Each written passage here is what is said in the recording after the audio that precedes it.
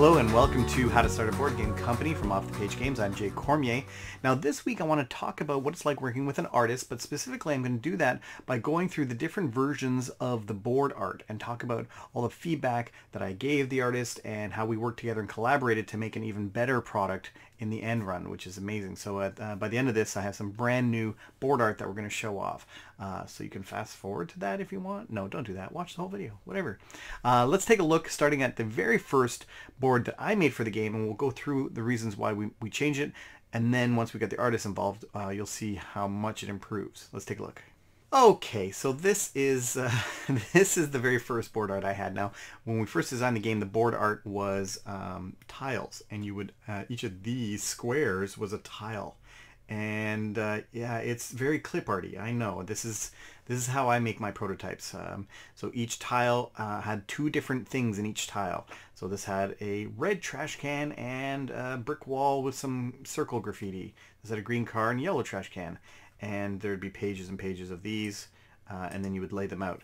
Um, so that was the first iteration of this. Uh, everything had to be very easy to, to kind of see, and this actually proved to not be very easy to see, and so we upgraded it to this kind of perspective, so it's now like an isometric perspe perspective, which was visually a lot more pleasing. Um, and then we have things like a fire station, and we still had graffiti, but now on billboards and cars and it's still clip art, but it's definitely a lot cleaner and it was definitely a lot easier to see things out, but they were still tiles. Um, and then you can see these little um, do not walk kind of things were printed right on some of the tiles.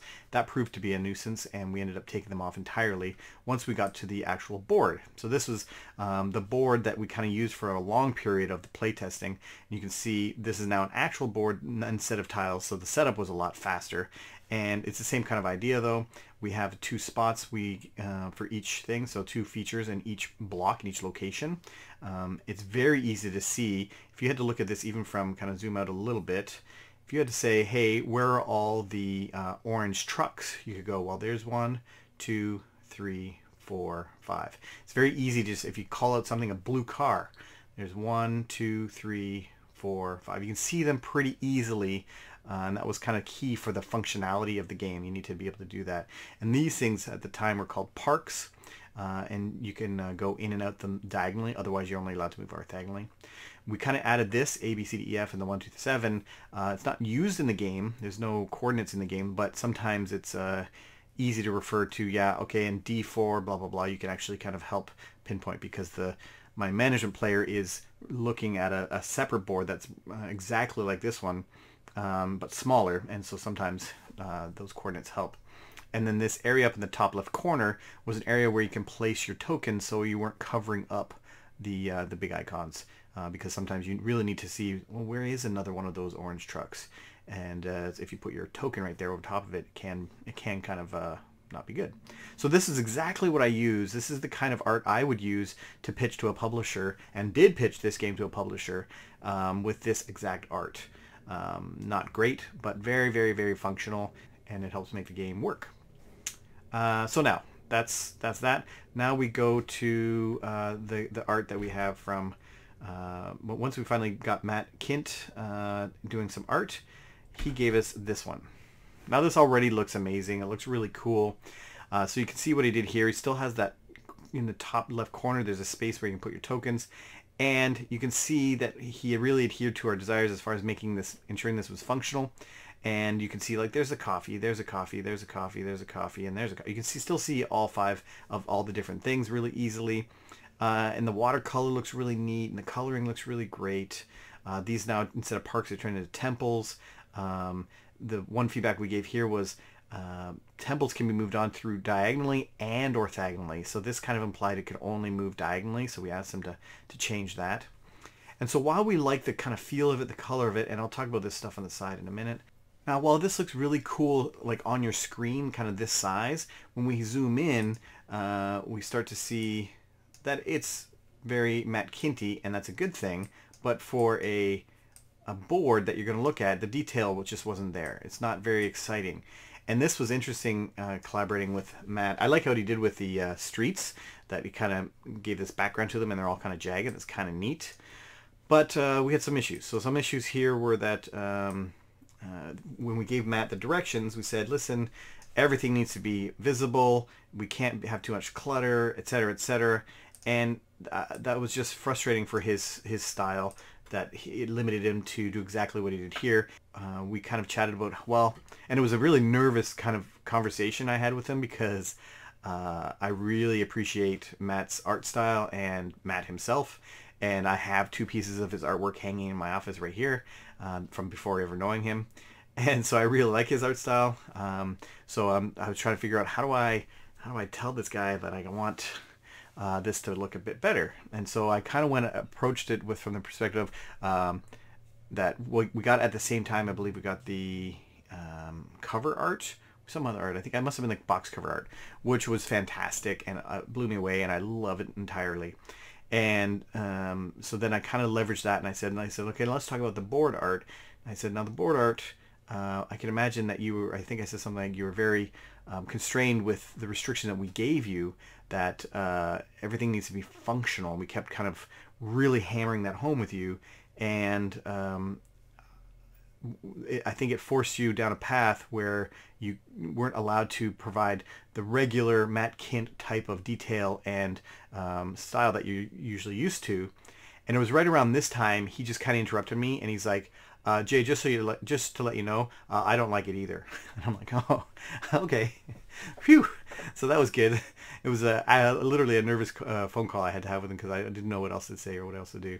Uh, but fortunately, he was on the same page, and so uh, this was good enough that we were able to use this to demo at Gen Con and uh, GrandCon and Fan Expo and all these other places because it looks way better than my previous way better than this. This would not attract people to the demo. So this was great that we had this, um, but he went back to work and started working on some more.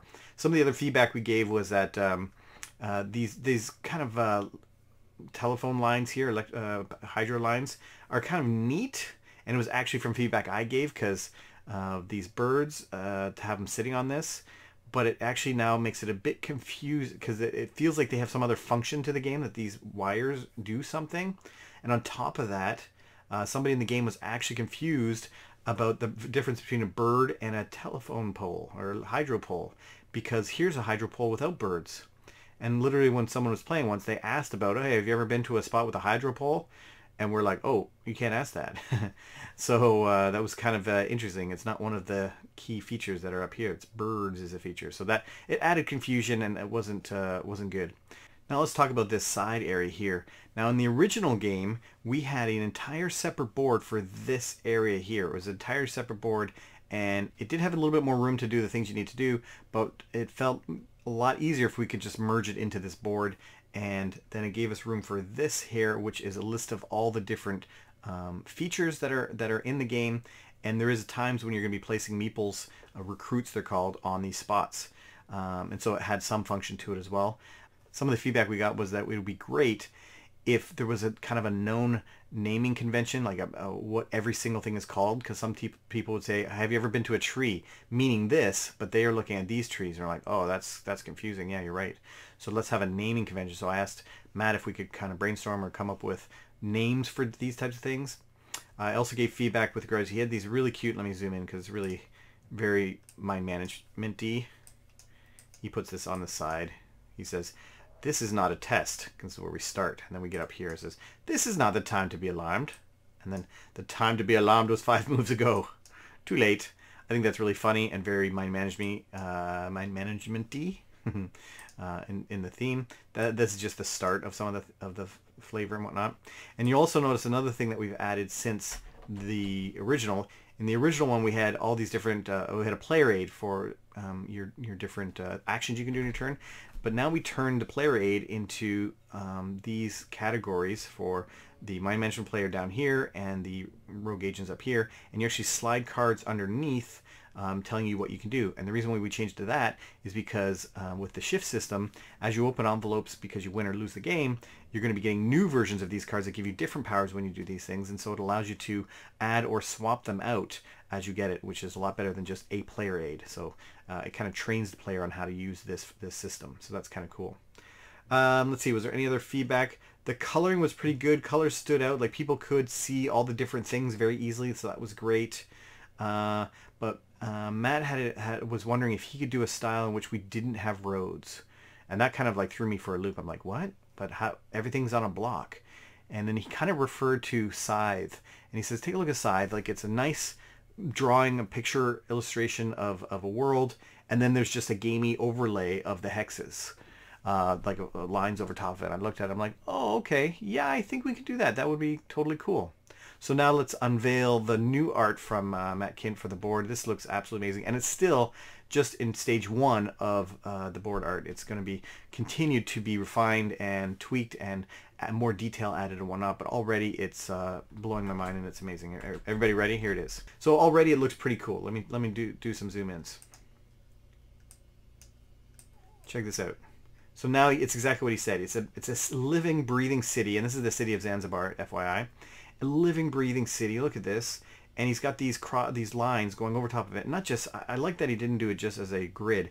It's kind of like a bulbous, like it's kind of rounded, and it, and it helps with the perspective because uh, on this left side you can see we see the the uh, right sides of the buildings and as we get over here then we see the left sides of the buildings so the, the perspective changes throughout the picture which is super cool and awesome and I totally love that um, everything still stands out pretty decently. Um, I did have like just really look how cool this is looking. I'm I'm, I'm just really excited. Um, but uh, I had some issues. I said, okay, the pool, the fountain, and the bus are a little bit too similar in color. Can we choose some different colors for that? I said even with the bus, maybe you can go two tones, do two colors. I said the uh, totems could probably make it more orange because the brown is kind of getting it mixed in with the garden and even the paths on this. You see what he did with the uh, the temples. You, now you, you, it's very clear that you can go diagonally or orthogonally to uh, either the temples, so that's fantastic. And I think I gave feedback here that these monks were too close to here. That was hard to see. And also the dogs. I don't even know if you've seen the dogs. They're there. They're there. It's hard to see them there. They're there those ones are easy to see, but every, the, the rest are a little bit hard. So I, I, I we had a brainstorm like, what can we do uh, to make them stand out a little bit more?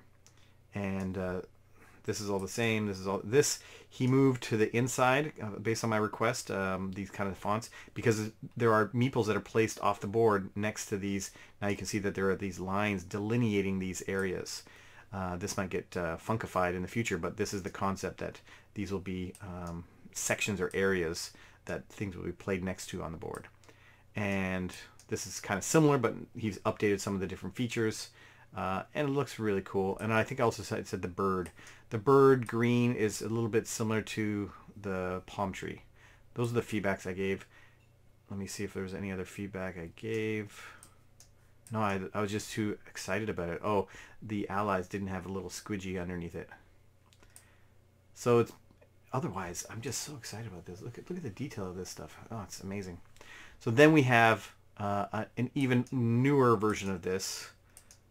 Uh, oh, the other feedback I gave was yes, was that uh, he decided to kind of you can see this kind of fake fold here, this kind of shaded area, and here, implying that it's some sort of folded up map or something like that. And I said.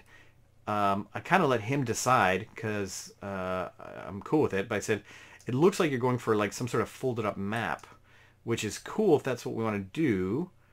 Um, but then I think you have to sell that everywhere. You have to then the edges of this has to be a folded up map. Oh, I guess he kind of did it over here. But this is to me gamey, this capture, push, reveal, and it feels like it should be there. But even the side over here, it should be like a, a map uh, pieces. I said, if you want to do that, then fine. Even the, anyways, um, or just get rid of it. So uh, let's see what he did. So here is the most recent board. There's still some, you know, minor tweaks here and that are coming, but this is, uh, you can see some of the things he's changed already just from looking at it. Uh, it looks awesome, but let's uh, let's zoom in, and I'll show you some of the things that he changed. Like some simple things like moving these uh, monks a little further away from the flame. That's great. Uh, he made the uh, buses now are two-tone, a pink and a, a, a like a teal. The uh, fountains now are more greenish, so they definitely pop from that. The birds are, are red, but they don't. They're like a pinkish red, so they don't, they don't mesh with match. Uh, don't clash with the red of the books. There's a bit more orange in the totems. Um, everything's good. And then he went and added all these words to give a common name for all the different So like the Subversion Bookstore, the Dream Bus, the Subliminal Billboard, the Reconnaissance Parrot, the Wish Fountain, Faraday Mind Tree, the Collective Mind Pool, the Thought Shield Umbrella, Distraction Totems, the Hallucinogenic Torches, Idea Garden, the Flux Coffee Shop, the Observation Monks, C4 Assassination Dogs, the Thought Courier, and the Suggestive Graffiti. this is awesome. So this is going to be great for uh, when all the players now will have the same language when referring to different features. That is amazing. And so yeah, so this is the most up-to-date art.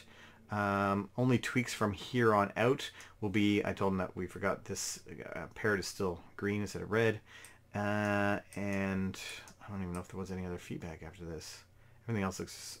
He he is going to um, put more people in the streets, and there's going to be some Easter eggs and uh, some secret things hidden in here that will um, be revealed during the game. Oh, the dogs. The dogs he made black. That still might need a little bit of tweaking because they just kind of look like a little black blob, but they're cool because now he added also a. I don't know if he added it or if it was there before. I didn't see it before.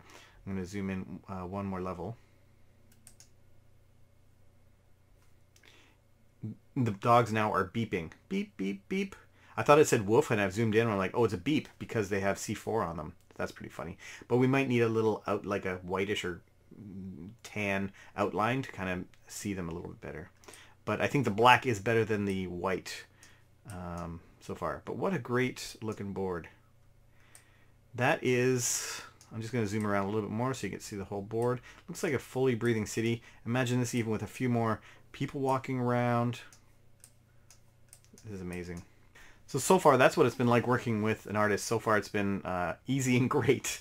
Uh, but Matt is as uh, motivated and interested as I am. Not that other artists aren't. Uh, but to make this game amazing because it's his world that he created with Mind Management. He's a big board game fan, so he loves board games, and he's super jacked that this his his creation is being turned into a board game. So he's all on board and he's excited, which is, makes me excited as well. Uh, that I'm helping to add something to this Mind Management universe and world. Uh, if you haven't checked out the comics, I highly recommend them. They're really uh, fascinating and uh, twisty and clever, and uh, I think uh, I think everyone would like them. So go check them out. But that's it for me from this week from uh, Off the Page Games. Uh, see you next weekend.